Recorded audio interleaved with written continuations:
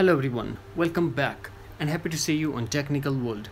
Today in this video, I'm going to show you how to fix Facebook or Messenger app could not make or receive call on iPhone and iPad after or before iOS update. So without wasting any time, let's get started and before start, please don't forget to subscribe.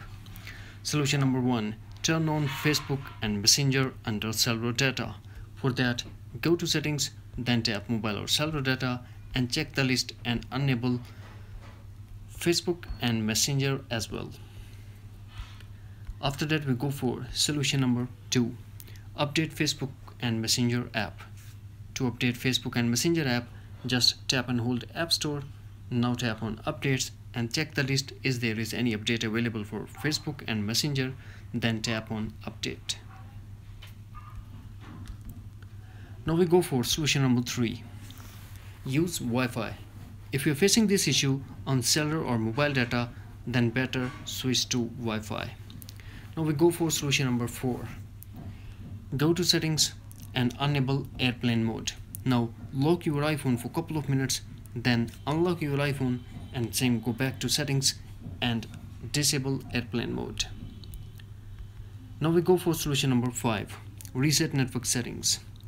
Launch settings, then tap general and tap reset and tap reset network settings.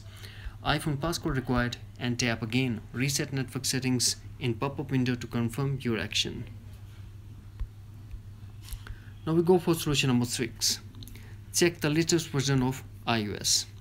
To check that go to settings connect to wi-fi and tap on general and tap software update and update your iphone if update is available for ios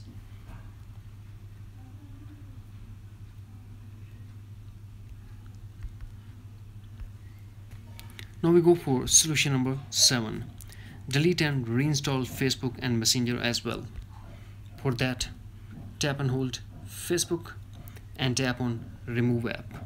After that, same go to Messenger, tap and hold Messenger and tap remove app.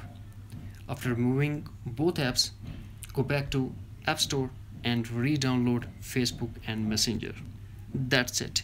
Hopefully friends, you found this video helpful so please don't forget to subscribe, like and share with your friends and family.